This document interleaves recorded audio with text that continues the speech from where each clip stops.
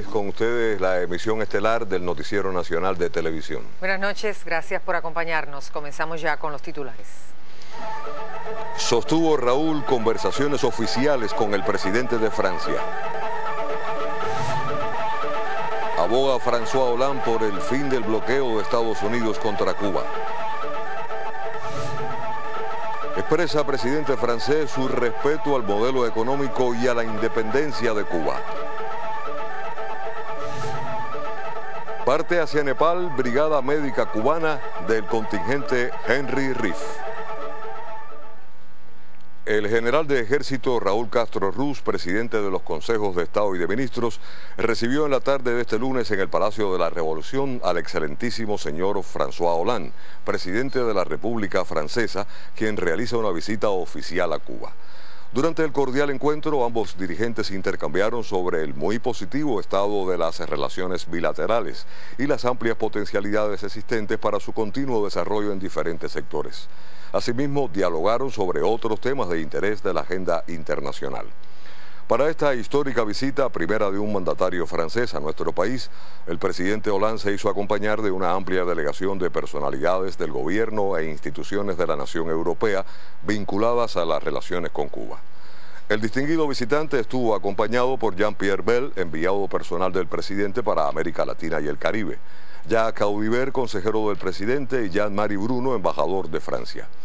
Por la parte cubana participaron Ricardo Cabrizas Ruiz, vicepresidente del Consejo de Ministros, Bruno Rodríguez Parrilla, ministro de Relaciones Exteriores, Rodrigo Malmierca Díaz, ministro de Comercio Exterior y la Inversión Extranjera, y Héctor Igarza Cabrera, embajador de Cuba en Francia. En horas de la tarde, el presidente de Francia, François Hollande, rindió homenaje a José Martí. Acompañado por el viceministro cubano de Relaciones Exteriores, Rogelio Sierra, el mandatario depositó una ofrenda floral en la base del monumento que perpetúa su memoria en la Plaza de la Revolución.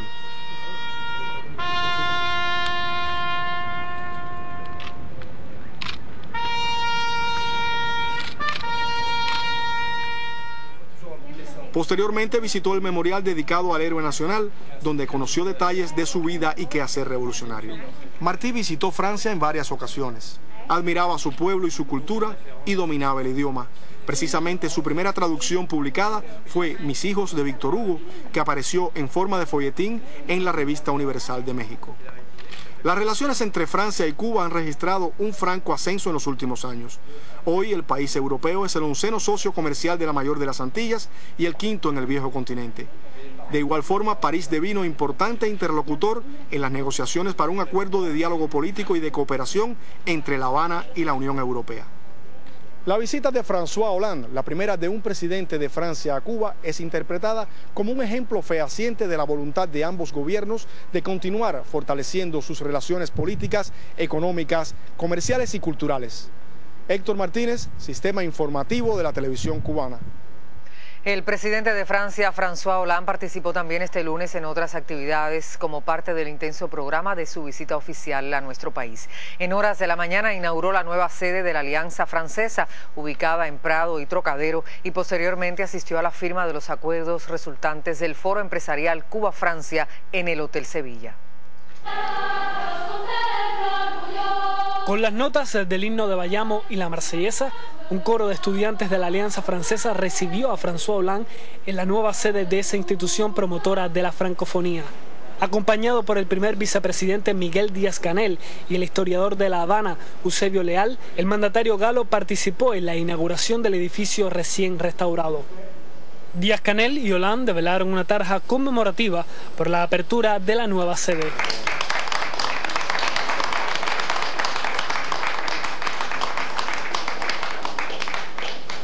Honorable señor presidente, este hermoso palacio fue el resultado de la determinación de nuestro presidente dar a la Alianza Francesa, que es la mayor del mundo, con más de 12.000 alumnos en la ciudad de La Habana, capital, y también en la ilustre y heroica Santiago de Cuba, una sede institucional, además de la que ocupa en el paseo Avenida de los Presidentes, en la casa que fue del eminente sabio cubano Carlos J. Finlay, a quien Francia reconoció en su momento con la Legión de Honor.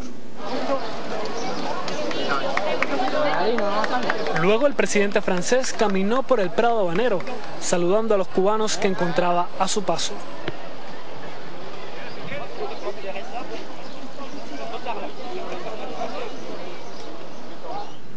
Posteriormente, François Hollande acudió a la firma de convenios gubernamentales, comerciales y de inversión entre ambos países. Se destacan el acuerdo de exploración en aguas profundas entre Cuba Petróleos, COPEP y la Corporación Total, así como la próxima apertura de dos hoteles en Cayo Coco. Los intercambios sectoriales desarrollados en la mañana de hoy entre el empresariado de Francia y Cuba permitieron identificar intereses comunes y constatar las potencialidades existentes entre los dos países para consolidar las relaciones económico-comerciales. En un discurso, el presidente Hollande escribió los principios que regirán los negocios entre Cuba y Francia. Confirmó saber que se están tomando importantes decisiones para seguir haciendo progresar el modelo económico cubano.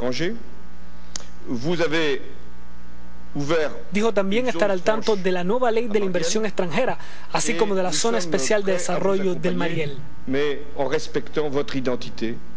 Hollande dijo que Francia está en la mejor disposición de acompañar a Cuba, siempre bajo el estricto respeto de su modelo e independencia.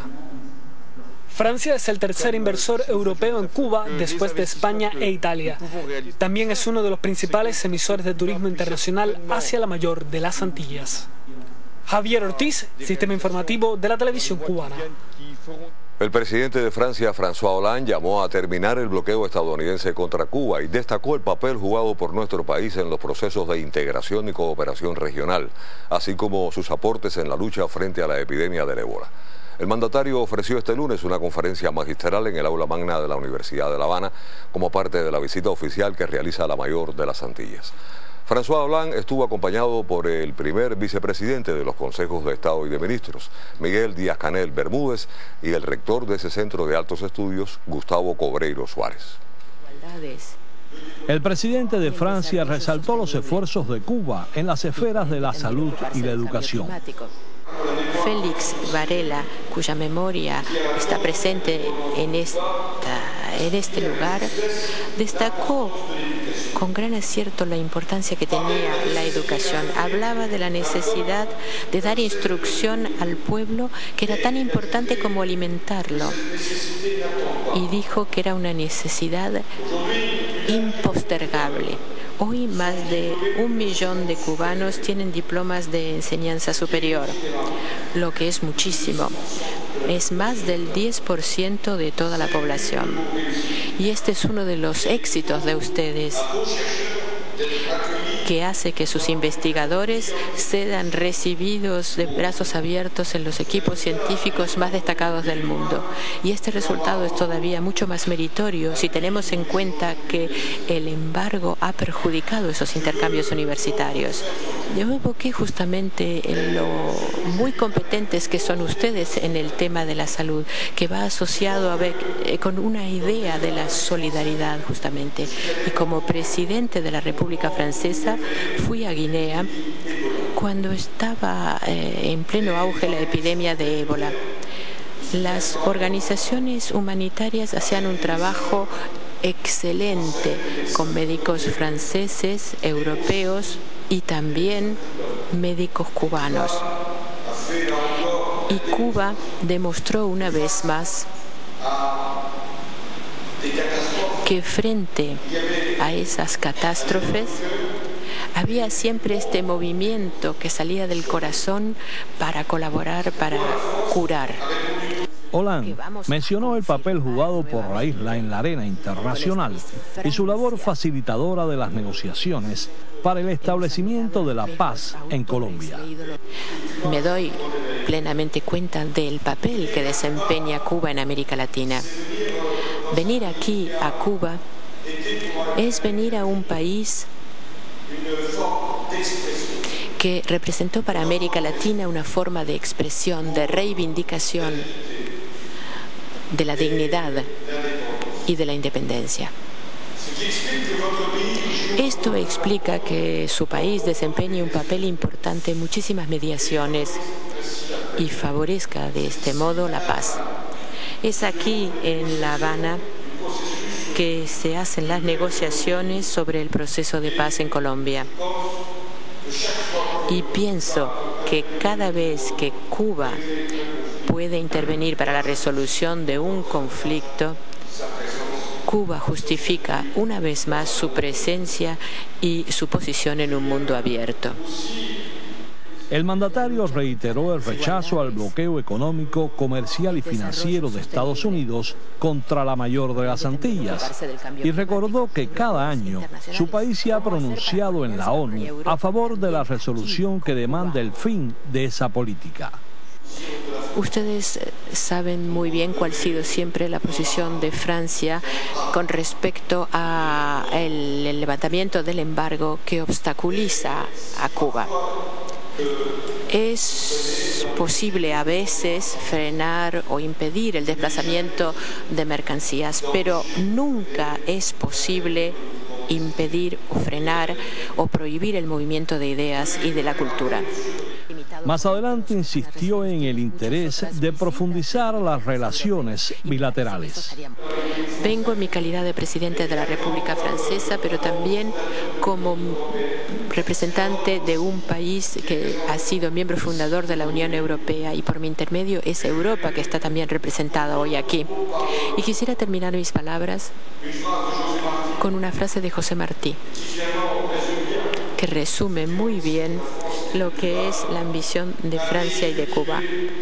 Un país culto es un país fuerte y libre siempre. Y eso es lo que queremos ser, cada vez más fuertes y más libres juntos. Gracias. La ocasión fue propicia para que los lazos de colaboración entre instituciones académicas y científicas de los dos países recibieran un impulso con la firma de cuatro nuevos convenios de cooperación. El presidente viaja acompañado por un grupo de ministros que incluye a los de las carteras de energía, transporte y salud. También por una amplia delegación empresarial en la que figuran ejecutivos de las importantes firmas de distribución Carrefour, de telecomunicaciones Orange y de transporte Air France. El presidente de Francia llegó a Cuba procedente de Guadalupe y viajará mañana a Haití, última escala de la gira que realiza por las Antillas. Néstor Pardiño, Sistema Informativo de la Televisión Cubana. En horas del mediodía de este martes partió hacia Nepal la Brigada Médica Cubana del contingente internacional Henry Riff, que ofrecerá sus servicios en ese devastado país. Un equipo del sistema informativo asistió a la despedida de los galenos. Unos atienden la última llamada de la familia, otros ya hacen los planes de la llegada. Todos tienen este entusiasmo. Ayudar a todo lo que pueda al pueblo de Nepal a su mejor recuperación y en las secuelas que puedan quedar en los damnificados después del terremoto. Para adelante, otra batalla que hay que ganar. Tenemos el tesón, el, el apoyo y la esperanza de ayudar a todas esas personas que necesitan nuestra ayuda. Y mientras, este Boeing 767 de una línea portuguesa recibe la pesada carga de un hospital de campaña con salón quirúrgico, área de terapia intensiva, servicios automatizados de diagnóstico y toda la logística indispensable para ofrecer una labor humanitaria especializada. Los electromédicos serán los encargados de toda la instalación. Hemos estado en Pakistán, Venezuela, Bolivia. ¿Cuán difícil es para ti? Es bastante difícil, porque desde el principio que llegamos hay que instalar todas las casas de campaña, el equipamiento, muchas instalaciones eléctricas, la planta, y el hospital sin eso no funciona. Los médicos sin nosotros no pueden arrancar, no pueden empezar a funcionar, no pueden empezar a trabajar. Es bastante complicado, días sin dormir, porque son horas, varios días sin dormir, hasta que se instale y se, haga la finalización del, del montaje del hospital. Las cuatro mujeres, como todos, llevan sus tareas muy bien definidas. Las últimas noticias transmitidas por nuestra misión diplomática en Nepal dan cuenta de que hay gran expectativa por la llegada de los cubanos. La imagen del jefe de la brigada cierra el ascenso.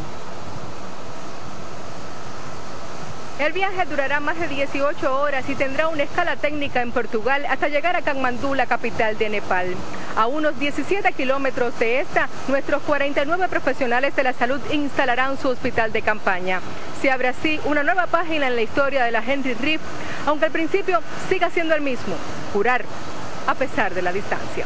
Milenis Torres, Sistema Informativo de la Televisión Cubana.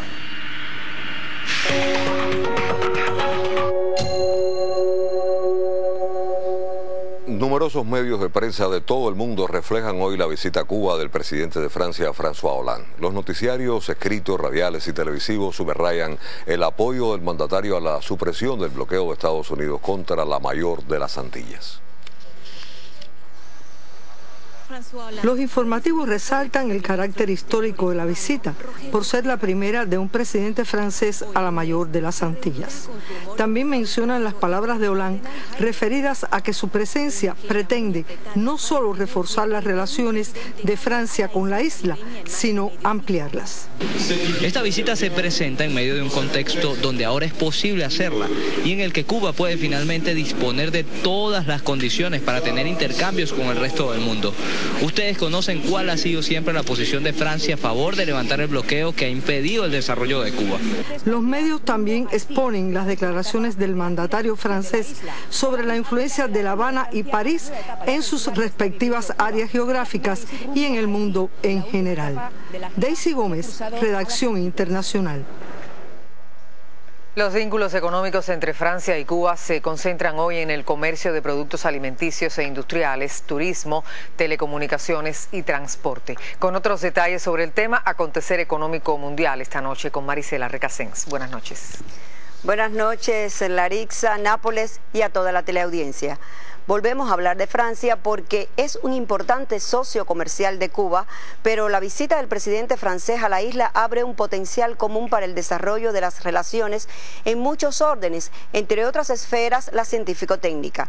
Previo a la llegada del presidente, los ministerios de salud de los dos países firmaron una carta de intención para profundizar las acciones de cooperación en materia de seguridad sanitaria internacional, fundamentalmente para el enfrentamiento de enfermedades transmitidas por En reciente visita a La Habana, el secretario de Estado del Comercio Exterior del Turismo y de los franceses en el extranjero, Matías Fell, destacó que su país quiere acompañar a Cuba en la actualización de su modelo económico favorable para el desarrollo y la diversificación de los vínculos con el exterior.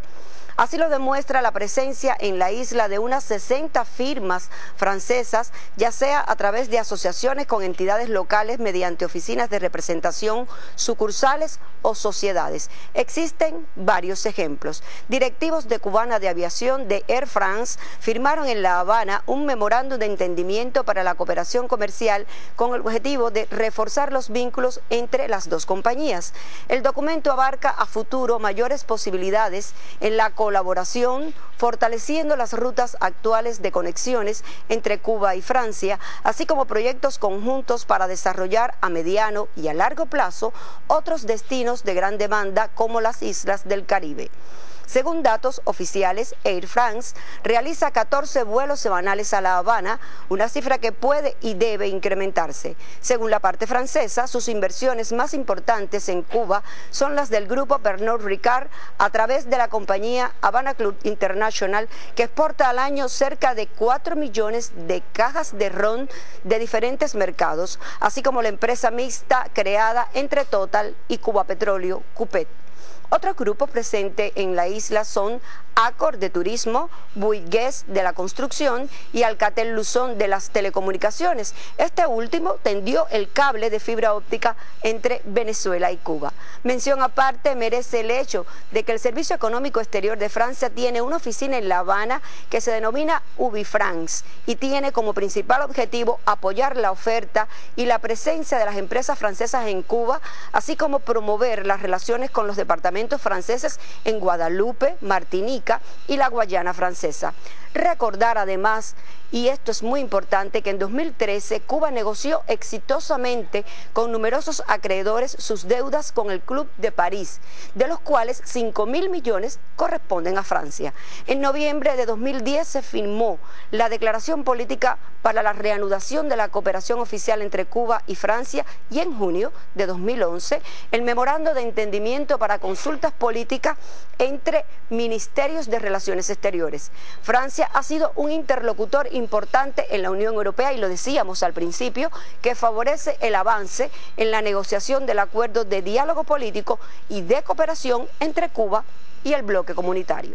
Acontecer económico mundial. Hasta un próximo encuentro.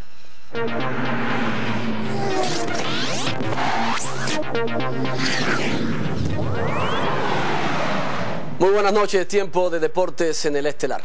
El remero cubano Ángel Fournier se llevó un nuevo triunfo en su fructífera carrera al ganar la presea de oro en el single peso abierto en una de las fases de la Copa del Mundo, esta vez en Bled, Eslovenia. Fournier, medallista en campeonatos y copas del Orbe, entró primero en la final con tiempo de 6 minutos 49 segundos y 740 centésimas, seguido por el croata Damir Martin y el suizo Marcus Kessler. Con esta victoria, el guantanamero de 27 años dio otra muestra de su favoritismo para repetir su condición de campeón en los Juegos Panamericanos de julio próximo en Toronto, Canadá.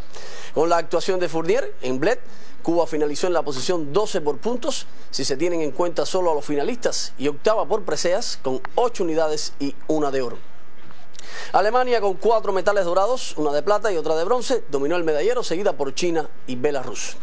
Del deporte rey, la partidista Yarisley Silva arrancó con una medalla de oro la actual temporada atlética. Silva, estrella caribeña de la Garrocha, se adueñó del cetro en el Great City Games de Manchester con discretos 4 metros 30 centímetros que fueron suficientes para calentar su debut del año, reseña el sitio digital Hit. Según la página web de los organizadores, la campeona universal bajo techo en Sopot sobrepasó esa altura en el tercer intento luego de renunciar a 4.10 y sobrevolar los 4.20 también en su último salto. La próxima aparición de Yarisley será el día 17 de mayo en la parada del diamante de Shanghai, pero antes los cubanos seguirán las secciones de Doha, especialmente en el triple salto, cuando se presente Pedro Pablo Pichardo junto al estadounidense Christian Taylor, rey de Londres 2012, y el francés Teddy Tango, líder en Moscú 2013. Y en el cierre, una breve de pelota. Y es que Alfredo de batió de 2-2 este domingo la victoria de los Marinos de Lote, 11 carreras por una ante los Leones de Ceibú y continúa elevando su rendimiento en la Liga del Pacífico del béisbol japonés. De disparó su cuarto cuadrangular de la temporada, además de pegar un doble, empujar par de carreras, anotar una y recibir dos bases por bolas. Así concluyen los deportes. Tenga usted buenas noches. Jimmy Castillo, muchas gracias y del acontecer deportivo vamos a otras nacionales. El sitio histórico potrero de Jimaguayú congregó a pobladores de vertientes en Camagüey para rendir homenaje a Ignacio Agramonte y Loinás en un nuevo aniversario de su caída en combate. Los residentes en el municipio de Vertientes, en representación de todo el pueblo del Camagüey, conmemoraron el 142 aniversario de la caída en combate de Ignacio Agramonte y Loinás. La ocasión resultó oportuna para reconocer un grupo de pioneros participantes en el concurso Agramonte entre nosotros que convoca el museo de la localidad en coauspicio con la oficina del historiador de la ciudad. Ignacio Agramonte y Loinás cayó en combate en el potrero de Jimaguayú, lugar ubicado en la geografía vertientina donde ofrendó su vida a la causa libertaria el 11 de mayo de 1873. Luis Enrique Perdomo Silva, Sistema Informativo de la Televisión Cubana. Los gramenses ponen en práctica disímiles alternativas para atenuar los efectos de la sequía en la ganadería. Las máquinas empacadoras de heno desempeñan un determinante papel entre las medidas que se aplican para garantizar la alimentación de los animales. Superar épocas críticas de forrajes y salvar la vida de miles de animales que cada año mueren por falta de alimentación es el propósito esencial de las estrategias que en Granma se ponen en práctica en la ganadería. Una máquina empacadora de rollos de heno está destinada aquí a suplir necesidades en unidades pecuarias. Yo estoy representando la genética Manuel Fajardo, ¿ves? Y para mí esto es grandioso, porque verdad que la seca está fuertemente atacando aquí lo que es la ganadería. En una hectárea esto hace de 8 a 12 vacas.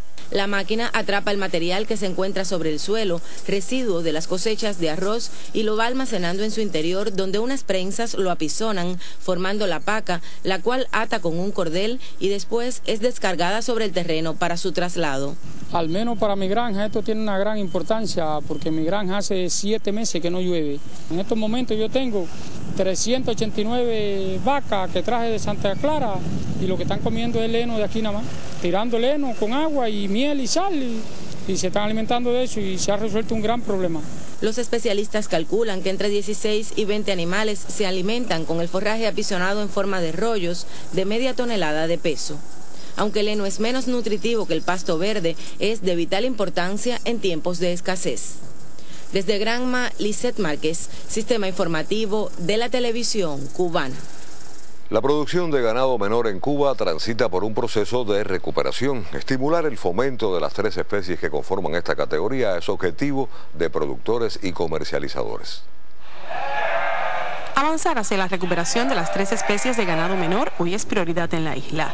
Cifras oficiales indican que el país cuenta con alrededor de 1.700.000 cabezas de ovino, poco más de 800.000 de caprino y un millón de conejos. Todas las especies de ganado menor se, desarrollan muy rápido eh, y sus producciones se obtienen en menos de dos años.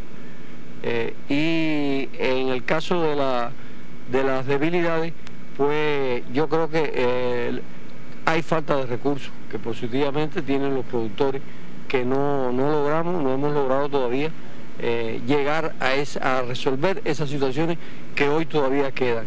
Con destino esencialmente al turismo, las producciones de ganado menor se generan a partir de contratos con cooperativas y empresas estatales. En el caso específico de la producción cunícola, una parte importante se contrata a partir de productores privados. Aquí en la finca La Rosalía, por ejemplo, esta productora se destaca por sus rendimientos. Posee unos 400 conejos y entrega anualmente unos 1.200 kilogramos de carne. Según explica, de dedica muchas horas al cuidado de la especie, pero considera aún bajo el precio de venta de la carne que asciende a solo 13 pesos por kilo. El precio no estimula el esfuerzo que uno hace diario, porque uno, la cantidad de horas que uno le dedica a ello no, no se corresponde. Hemos tratado de mejorar la situación del precio de, la carne, o sea, de la carne en pie que le compramos a los productores. No obstante, eh, esta es una actividad eh, que, que tiene eh, un grupo de, de posibilidades que no las tienen otras especies. Esta especie tiene concebido alimento concentrado que otras especies no lo tienen o lo tienen en mucha menor medida que, ella. Estimular el incremento de estas producciones pasa entonces por varios caminos. Evaluar precios, mejorar variedades genéticas, solucionar carencias materiales. Importantes retos para productores y comercializadores. Rosana Thompson, Casa Mayor, Sistema Informativo de la Televisión Cubana. Fortalecer el sistema de seguridad contra incendios y crear hábitos preventivos que contribuyan a reducirlos son los principales objetivos de la Semana Nacional de Protección que se extenderá hasta el próximo día 17. Solo en circunstancias excepcionales se conoce que estos hombres existen y se preparan en silencio para los momentos críticos. Esas palabras de Fidel alentaron el acto de inicio de la Semana Nacional de Protección contra Incendios, celebrado en Camagüey, donde se reconoció a un grupo de entidades y a la provincia por sus resultados en el 2014. Pienso que se ha trabajado con todos los organismos, con todas las organizaciones políticas para lograr los objetivos planificados en esta Semana de Protección contra Incendios. Camagüey precisamente por los resultados alcanzados, primer lugar en el trabajo con los niños, el trabajo con las nuevas generaciones, el trabajo con las entidades, la disminución de los hechos de incendio y que realmente han organizado el enfrentamiento en función de la disminución de los hechos de incendio. La batalla contra incendios, salvamentos y rescates son apreciados en la población. Desde Camagüey Luis Naranjo, Sistema Informativo de la Televisión Cubana.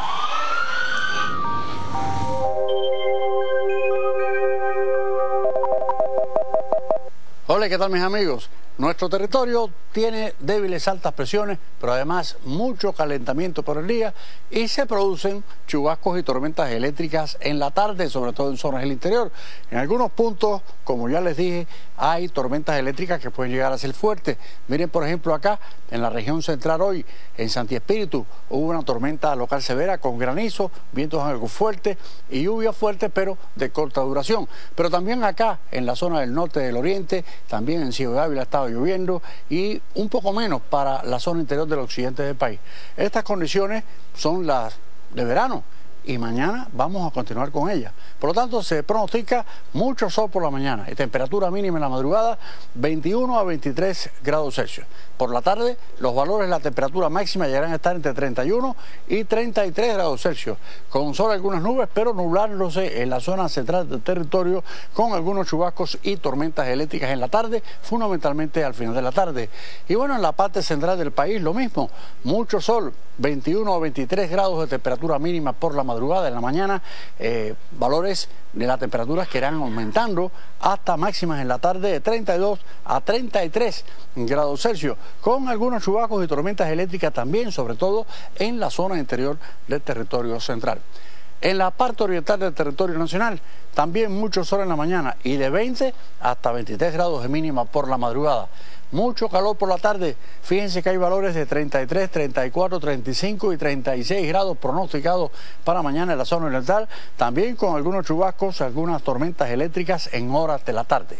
Los próximos tres días no va a haber gran variación en el tiempo. Y la tónica sigue siendo esta, algunos chubascos y tormentas eléctricas en zonas del interior en la tarde, eso se va a mantener en los próximos días. Y las temperaturas, pues también se van a mantener elevadas, sobre todo en la región oriental de nuestro territorio nacional. Así que mis amigos, este es el tiempo. Les deseo que pasen una noche muy feliz y hasta mañana.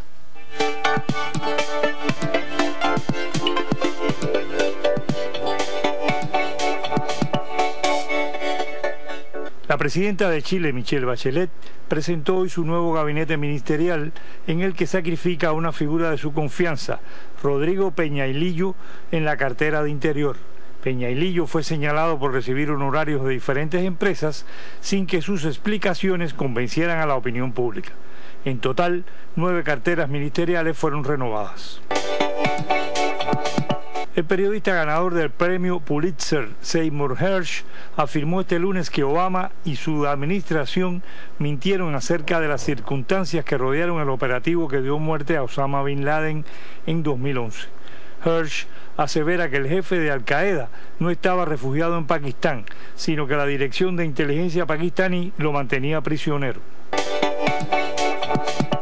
El Tribunal Supremo de Suecia anunció hoy que mantiene la orden de arresto contra el informático y periodista australiano Julian Assange en respuesta a una apelación presentada por la defensa. Cuatro de los cinco jueces que integran la Corte apoyaron mantener la orden y solo uno se manifestó a favor de derogarla. Grecia realizará este martes un nuevo pago al Fondo Monetario Internacional por 750 millones de euros, informaron este lunes fuentes del Ministerio de Finanzas del país. El plan de pago fue establecido hace cinco años como parte del programa de rescate de 2010 y la fecha límite para ser entregado es el 12 de mayo. El economista estadounidense Samuel Rives manifestó que la posible inclusión del yuan en la cartera de los derechos especiales de giro del Fondo Monetario Internacional inclina aún más la balanza económica global hacia la región asiática. Esta decisión, a tomarse en septiembre por el FMI, pudiera llevar la moneda china, junto con el dólar, el euro y la libra, a convertirse en moneda de reserva global. Orlando Nancis, Redacción Internacional. Los más de 70 tornados y fuertes temporales que afectaron en las últimas horas el medio oeste y el centro suroeste de Estados Unidos dejaron al menos 5 muertos, 8 desaparecidos y decenas de heridos y considerables daños materiales. Las localidades más afectadas fueron Arkansas, Texas, Kansas, Dakota del Sur, Nebraska, Oklahoma, Iowa y Colorado. Los bomberos y rescatistas informaron que continúan en la búsqueda de las personas que permanecen desaparecidas. Informes preliminares indican que centenares de viviendas quedaron destruidas, afectó el suministro de energía eléctrica, miles de árboles fueron derribados e innumerables familias perdieron sus bienes. El portavoz de la Casa Blanca, Joe Ernest, señaló que hasta la fecha los estados no han pedido ayuda federal, pero que el gobierno se mantiene al tanto de la situación.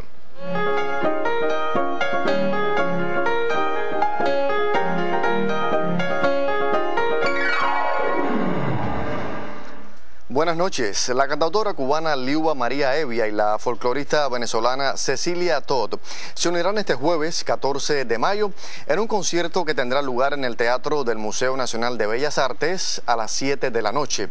Hay quien precisa es el nombre de este concierto que se suma a las acciones de Cubadisco 2015 y en el cual ambas artistas interpretarán temas de su reciente producción discográfica conjunta. Y ahora nos vamos hasta Santi Espíritu el pianista y compositor José María Vitier concluyó allí una gira que lo llevó a varias ciudades. Veamos. Sandy Spiritus otra vez acogió al maestro José María Vitier. El programa incluyó temas como El Manicero de Moisés Simón y Fresa y Chocolate compuesta para el cine cubano hace unos 20 años. Elemento común en el repertorio es la mezcla de la música popular cubana, la herencia rítmica africana y el aliento de grandes compositores europeos. En exclusiva para los espirituanos, la soprano Bárbara Llanes estrenó Solía un ángel, poema de Silvia Rodríguez Rivero, El amor que ha inspirado a José María Vitier. La gira nacional concluyó en el centro del país con el Ave María por Cuba. El maestro agradeció la suerte de comenzar los conciertos en Holguín durante las romerías de mayo y finalizarlos en Santi Spiritus. Una de las felicidades que me ha dado este trabajo, esta profesión, es poder conocer mi país, caminar mi país. Y, nutrirme de, de todas estas raíces, de todas estas cosas que ustedes tienen, maravillosas realmente. De Santi Espíritu se despidió con el reconocimiento a los instrumentistas Abel Acosta y Haroldi Abreu. También con la promesa de regresar pronto. Jenny Fleites, Sistema Informativo de la Televisión Cubana y el cuaderno de cuentos para adultos tras la quinta puerta y la noveleta para niños desde Marte hasta el Parque, ambos de la autoría de María Elena Llana, serán presentados el jueves 14 de mayo a las 4 de la tarde en la librería Fayad Hamis en La Habana Vieja. Durante la presentación de los títulos, María Elena Llana conversará con el periodista y crítico Fernando Rodríguez Sosa acerca de estas obras y de su trayectoria literaria y periodística. Así terminamos. Buenas y hasta un próximo encuentro. Visitó a Fidel el presidente de Francia. El líder histórico de la revolución cubana, Fidel Castro Ruz, conversó este lunes en horas de la tarde con el excelentísimo señor François Hollande, presidente de la República Francesa, en ocasión de su visita oficial a nuestro país. Durante el encuentro con el distinguido estadista Fidel y François Hollande sostuvieron un interesante diálogo acerca de los lazos históricos entre Cuba y Francia, así como pasaron revista a importantes temas del acontecer internacional e intercambiaron sobre sus complejidades y retos en un clima cordial y amistoso. El compañero Fidel expresó su agradecimiento al presidente Hollande por ser el primer jefe de Estado de Francia que visita Cuba y que entre los primeros textos que leyó cuando iniciaba el bachillerato fue un extenso libro sobre la Revolución Francesa, aunque entonces no conocía siquiera el valor de los estudios políticos y el complejo mundo que estaba detrás de las ciencias históricas. Hoy fueron titulares el encuentro de Raúl y el presidente de Francia en el Palacio de la Revolución en La Habana. Las declaraciones de François Hollande en favor del levantamiento del bloqueo de Estados Unidos contra Cuba. El intercambio del presidente francés con funcionarios cubanos y empresarios de Francia. Y la partida hacia Nepal de una brigada médica cubana que atenderá a víctimas del terremoto que azotó a ese país. Concluye así la emisión estelar. Muchísimas gracias por acompañarnos y muy buenas noches. Es un placer contribuir a que estén informados. Nos vemos mañana.